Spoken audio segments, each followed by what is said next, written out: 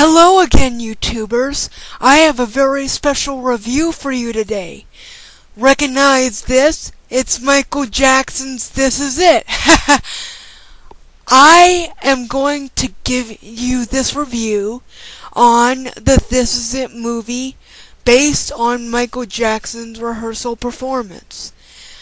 Now, for most of you who don't know, this movie was made eight days before Michael Jackson passed away.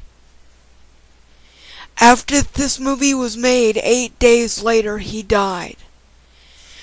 Now, I want to give you my favorite songs in the movie. Personally, Human Nature has got to be my favorite one. But on, on to the movie. Basically, this movie shows footage of Michael Jackson's rehearsal at the at the stadium before his death.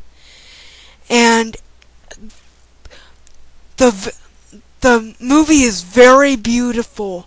I mean, it has all your favorites from Thriller to Jam to Billie Jean and more. But, however, the songs aren't what I'm here to talk about. What I'm here to talk about is the feeling of the movie, how the emotion is captured through it. Now, this movie shows the person Michael Jackson really was. And I'm not just saying that. This movie is really powerful. It it captures all the footage of Jackson's music rehearsals in the stadium. And to the surprise, it even gives you 3D footage. How about that? What I have to say to this movie is that it's my favorite besides Titanic. But there are some dazzling parts in this movie.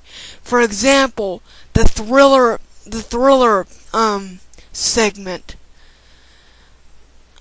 It's it's a lot better than the original Thriller video, and apparently, thank God it doesn't have any werewolf or some person turning into a werewolf.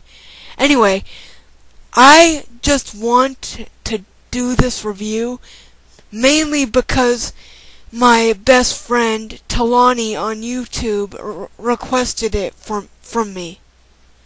And here she's going to get that request.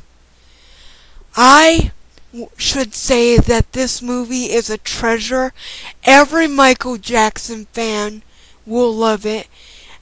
And I believe that every person on the universe who does not know Michael Jackson will fall in love with this movie right away. I give this movie a positive 10, and that's all I have to say for today.